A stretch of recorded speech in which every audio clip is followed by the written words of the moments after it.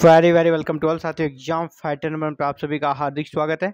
RPSC assistant professor exam के लिए classes exam fighter number पर लगातार जारी है और पेपर थर्ड जो कि राजस्थान जी के हैं, इसके लिए बहुत ही सुंदर और बहुत ही शानदार क्लासेस यहाँ पे चल रही है और अकॉर्डिंग सिलेबस बिल्कुल यूनिट वाइज एक भी यूनिट आपका कर सकते स्किप नहीं किया जाएगा, छोड़ा नहीं जाएगा।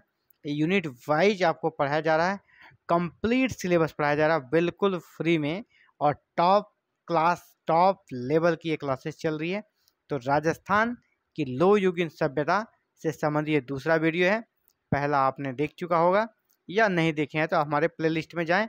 RPSC assistant professor exam, paper third type करेंगे। आपको मिल जाएगा हमारे प्लेलिस्ट में और प्रीवियस सभी क्लासेस अवेलेबल हैं। राजस्थान की लो युगिन सभ्यता संबंधित एक क्लासेस हो चुकी है, दूसरी क्लासेस है और ये लास्ट क्लासेस है राजस्थान की लो युगिन सभ्यता। कि इसके बाद क्लोज हो जाएगा। तो राजस्थान आयरन सिविलाइजेशन ये क्लास नंबर टू है। तो चलिए देखते हैं, आज कौन कौन सी सभ्यताओं को हमें देखना है। तो आज छोटी छोटी सभ्यताएँ हैं, उनको और ये कह सकते हैं। ये लास्ट क्लास है इस टॉपिक से रिलेटेड इसके बाद फिर से कल हम लोग नए क्लासेस में नए टॉपिक में प्रवेश कर जाएँगे। तो देखिए, सबसे पहला है, जो मुख्य लोयुगिन सभ्यता है राजस्थान की, उसमें अब हम लोग देखेंगे नो।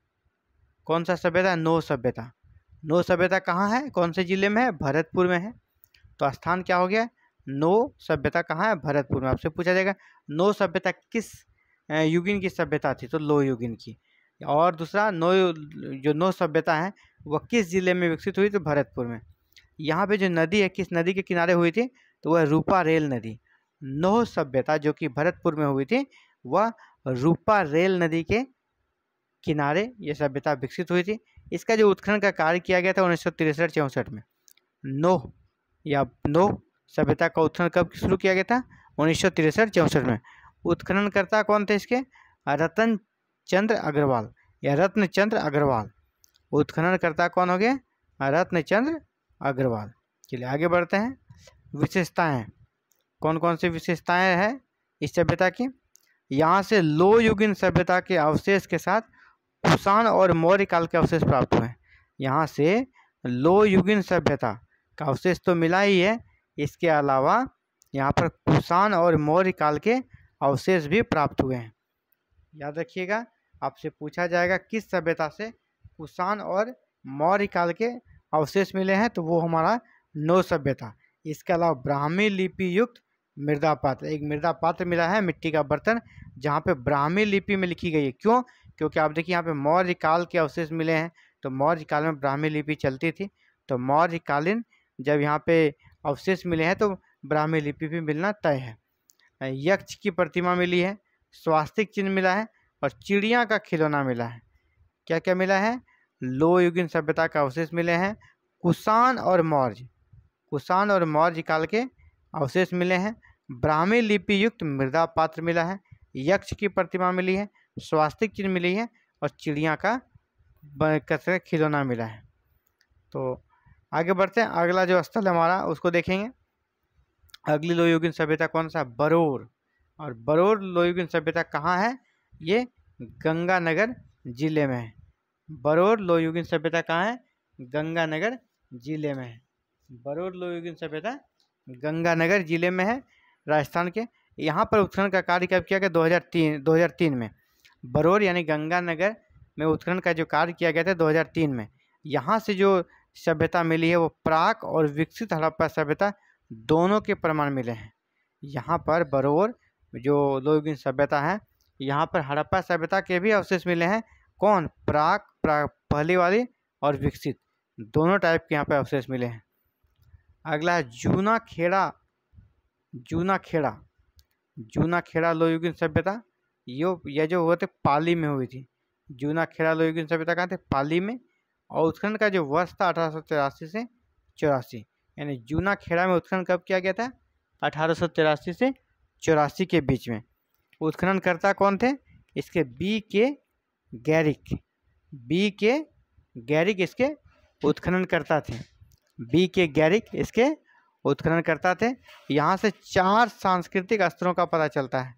आपसे पूछा जाएगा, किस लोयुगिन स्थल से चार सांस्कृतिक स्तरों का पता चलता है? चार सांस्कृतिक स्तरों का पता चलता है तो ये हो गया हमारा जूना खेड़ा।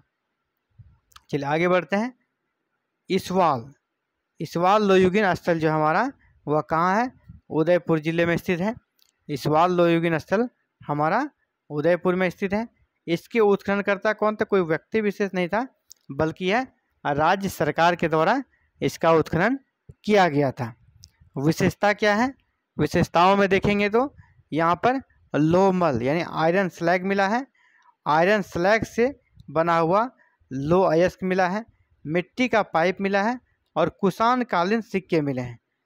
कुषाण कालीन याद देखिए कुषाण कालीन सिक्के यहाँ से भी मिले हैं। इसके पहले कुषाण कालीन हम लोग कहाँ देखा था? आप उसे ज़रूर कमेंट करें कि कभी मैंने पढ़ा है कुषाण और मौर्यकालीन अवशेष मिले हैं एक स्थल से। आप वहाँ पे देखें और आंसर करें। जल्दी से आपको कमेंट करके बताना है कुषाण कालीन अवशेष और किस स्थल से मिले हैं? इसवाल उदयपुर से कुषाण कालीन अवशेष मिले हैं, मिट्टी के पाइप मिले हैं और आयरन स्लैग लो मल से वाले आपके लो एस्क मिले हैं। अगला, भीन माल।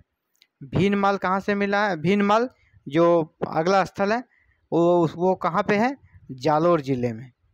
भीन माल जो लो युगीन स्थल है राजस्थान का तो वो कहाँ पर है? जालोर ज़िला में। इसके उत्खननकर्ता कौन है? रत्नचंद्र अग्रवाल। और उत्खनन कब हुआ? उन्नीस सौ में। इसका जो उत्खनन हुआ, उन्नीस सौ में हुआ। किसने किया? रत्नचंद्र अग्रवाल ने। और इसकी विशेषताएँ क्या है? यहाँ पे क्या क्या मिली है? यहाँ पर मृदभांड मिले हैं और शककालीन सिक्के मिले हैं। मृदभांड और शककालीन याद रखिएगा शकों से संबंधित, यानी शक जो छत्रप थे, उससे संबंधित सिक्के कहाँ से मिले? भीनमाल। भीनमाल कहाँ है? जालोर में, वहाँ से शकों के सिक्के मिले हैं। चलते हैं अगले और आज का कह सकते हैं कि अंतिम नगरी चित्तौड़गढ़। नगरी जो कहाँ है? नगरी लोही स्थल चित्तौड़गढ़ में है। चित्तौड़गढ़ में और यहाँ के उत्खननकर्ता कौन थे? D R Bhandarkar. यहाँ पे उत्खनन किया गया उन्नीस सौ चार में। यहाँ पे उत्खनन उन्नीस सौ चार में किया गया था। किसने किया था? डी आर भंडारकर ने। नगरी लोयुगिन सभ्यता कहाँ है? चित्तौड़गढ़ में है। उत्खनन किसने किया? डी आर भंडारकर ने। कब किया? उन्नीस सौ चार में। यहाँ की विशेषताएँ क्या है? गुप्त कालीन मंदिर मिले हैं। गुप्त कालीन मंदिर कहाँ से मिले पूछा जाएगा। तो नगरी से। नगरी नहीं रहेगा तो चित्तौड़गढ़ रहेगा। चार वक्राकार कुएँ मिले हैं। कुएँ का भी प्रमाण कहाँ से मिला है? तो नगरी से। नटराज शिव की प्रतिमा, मूर्ति। तो तीन चीज़। गुप्तकालीन मंदिर, चार वक्राकार कुएँ और नटराज शिव की मूर्ति कहाँ से मिली है? नगरी से, जो कि चित्तौड़गढ़ में स्थित है। तो आज ये कह सकते हैं कि लो युगीन सभ्यता जो राजस्थान की थी, उसको हम लोगों ने कंप्लीट कर लिया है। तो ये आज के लिए इतना ही। मिलते हैं कल एक नए क्लासेस के साथ, नए टॉपिक के साथ, क्योंकि लो युगीन सभ्यता खत्म हो चुकी है। उम्मीद करता हूँ जिसे आप बड़े ही डिटेल से पढ़े होंगे आपसे जो भी प्रश्न पूछा जाएगा, आप इसे कर पाएँगे।